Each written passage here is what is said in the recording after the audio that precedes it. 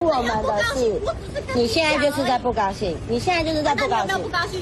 因为你的态度很恶劣啊，因为你的态度很恶劣。如果你不高兴，你就不应该接，这样懂吗？两个人在路边吵了起来，有民众叫外送点了一杯饮料，外送员送来了，但是民众身上只有一千元，外送员也找不开，双方坚持不下。你叫客人一千块，十个全部去换投币机，你说要给我九百个十块，你说的，你有没有讲？你是说要给我九百？是投币机讲。那你觉得可以这样吗？你没有零钱找，你应该刚刚就要先自备啊。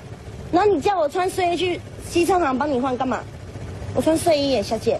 民众坚持穿睡衣无法去换钱，后来是邻居帮忙才解决这个情况。不过影片一抛网，就有人觉得客人只有一千元，可以在点餐时事先备注，避免外送员的麻烦。应该是要自己去找找开啦，自己找开啊，因为毕竟外送员可能。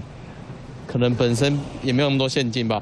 外送员，这也是他的工作的一部分。民众正反意见都有，但其实大部分的外送员都会自备。基本上都是我们自己要先准备好钱，请客人再稍等一下，我餐点先给他，请他稍等，然后我们去换那样子。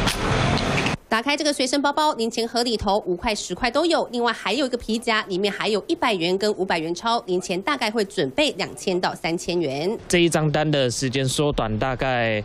假设说五分钟好了，马上就可以直接直接下一张。虽然公司没有明文规定找零应该谁负责，但是为了提高送单量，外送员都会自备。但没想到这一次因为找不出零钱，双方争吵上了版面。三新闻连线李慧台报道。